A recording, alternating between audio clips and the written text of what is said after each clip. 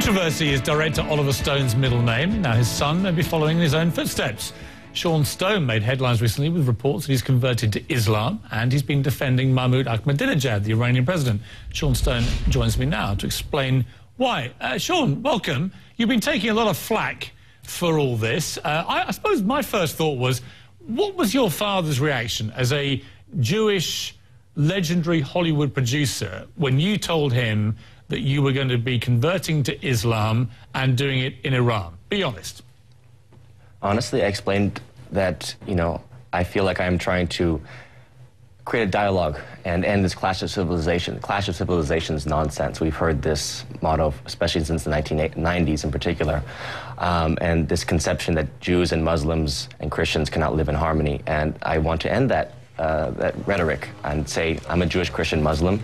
Um, I want to be able to understand all three religions and have a dialogue with people from all, all across the board and say, we don't need to fight each other based on the book. Right, so what did, what did your father say to that? Uh, he said, Allah be with you. Really? Yeah. I mean, I said it's... Your father I, said that?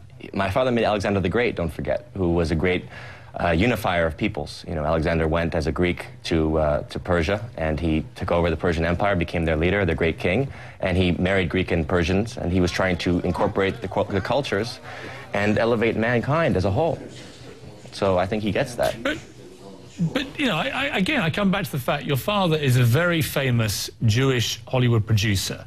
He now has a son who has been meeting with President Mahmoud Ahmadinejad. Ahmadinejad, as you know, and I've checked the exact quotes because often they get misquoted, is on record as saying on September the 18th, 2009, he said the following The Holocaust is a lie based on an unprovable and mythical claim. He went on, they, the Western powers, launched the myth of the Holocaust. They lied, they put on a show, and then they support the Jews.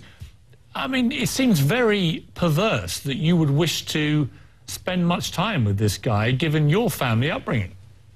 Well, I saw many Orthodox Jews when I was in the country too, and uh, you know, a lot of Orthodox Jews are opposed to the state of Israel. Um, you know, in its own in its right. Uh, whether or not uh, he, as I said, I wanted to I want to clarify his position regarding the Holocaust, which is to say, regardless if he, if he believes it or not, it does not justify, to our thinking at least, the occupation of the West Bank and the fact that the Palestinian situation has not been resolved in that region. And why are people not having this dialogue anymore? You know, if we really want to clarify that, why don't we just take it to him and say, look, let's start a proposal. Let's talk to all the Middle Eastern countries and go back to the Camp David-style accords. Why is this not happening? You know, uh, this is the essence of what I'm trying to say. I'm not trying to defend whether or not he believes in the Holocaust. I don't care if he believes in the Holocaust. I don't want to see our country go to war. Him, when, when you met him, did you bring up this denial of the Holocaust that he keeps uh, purporting? No, actually, I asked him more about the nuclear bomb issue, and he said no bomb. Um, my issue really is, is I don't want to see our country go to war. And, you know, if it's going to be over the potential threat that Iran is to Israel, I would say that's a complete lie. And the most, you know, we are in a very dangerous situation, precarious situation right now if Israel gets the green light and attacks preemptively Iran the way that we preemptively attacked Iraq. That's what I'm most concerned about. Do you, but you, you said yesterday, I think, that you believed that Iran should have the right to develop a nuclear weapon. Do you stand by that?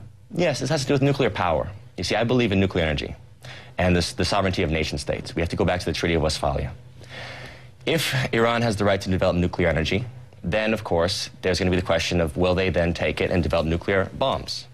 Now, based on the preventive war doctrine established by Bush, if we allege that they are developing nuclear bombs, then we can just allege it and attack them. So it doesn't matter at that point, you see, if they, whether or not they're actually intending to build it. I'm trying to negate the, the preventive war doctrine and negate it by saying, okay, they have a right to it, and at least as a defensive mechanism and within their sovereign borders. If they were to ever use it on anybody, of course there would be nuclear holocaust. Um, there would be no reason, because if you see Tehran, it's a city of 16 million people. Okay, it's twice the size of New York City. The capital of the country is there. One, one, one radical uh, Iranian bomb going off, you don't think there would be hundreds of Israeli bombs firing at Tehran? I mean, it's, it's over. There's no I reason. Suppose, I suppose the, the, the, problem is that you're, you're considering that Mahmoud Ahmadinejad is a, ma a man of sane mind. And, you know, when you look at some of the other things he's said and about 9 11. Some segments within the American government orchestrated the attack to reverse the declining American economy and its grips on the Middle East in order to save the Zionist regime. I mean, it's obvious complete claptrap. So I guess when people you know, Americans who are patriotic, who maybe love your father's movies and so on, when they see you going over there, you know, I don't have any problem with you converting to Islam. It's absolutely your right to do that, and I have no issue with that at all, or indeed you visiting Iran.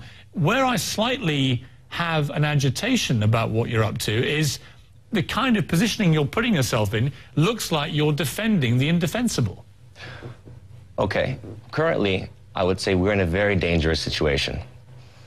If Israel for example, decides to attack Iran preventively, uh, preventively. Russia is not going to stand by and let this happen. They've already voiced their opinion. They do not want to see a war because this is on their border. It would be like a country in, invading Mexico. You know, we, it would destabilize this region. It would blow Iran up the same way Iraq was blown up, the same way Syria is being blown up right now. What you do is you're going to radicalize the, the Sunni and Shiite divisions even more. You're going to create a Lebanon situation of the 80s, the Afghanistan situation of the 80s. You're going to recreate it now. Okay, and that's going to create even more terrorism across the world, not just the region. This is potentially World War III that we're looking at. That's what I'm most yeah, but of course, you know, the, the, yeah, but the argument, of course, if you're in Israel, is that they could be facing potentially World War III from somebody that they see as completely unstable for some of the reasons I've stated with these statements he's made on the record, particularly in relation to Israel, and they worry that if he is in possession of a nuclear weapon, he wouldn't hesitate to carry out some of the threats and statements that he's made. And don't they have a right to feel vulnerable about that? So you basically are defending the preventive war doctrine, which goes back to Bush. So, um, frankly, well, no, no, but no, no, no, I don't, I don't actually. And in fact, just to clarify, I would have agreed about the futility of the Iraq War, for example. But in this case, it seems to me that unlike uh, with Saddam Hussein, you actually have Ahmadinejad threatening to exterminate Israel. Where does he? Uh, and he's developing, and he is developing ever faster nuclear capacity. Now that is a matter for concern, isn't it? Well, where is he, where is he currently threatening to destroy Israel? That is my question. Well, he's made statements which allude to that in the past. Allude to it, okay. The dissolution of the Israeli state.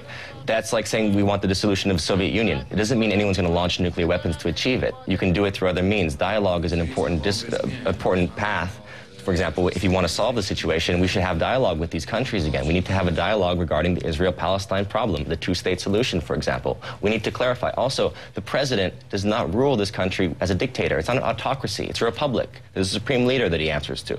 There's a parliament that he's, that he's going before the, uh, at this point in time to answer for corruption charges.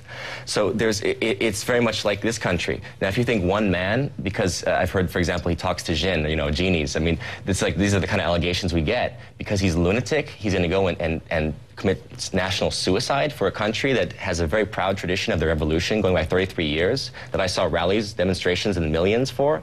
I mean, what may, there's no credibility to this report. This is just rumors. You're warmongering. You're spreading, you're, you're spreading rumors at this point.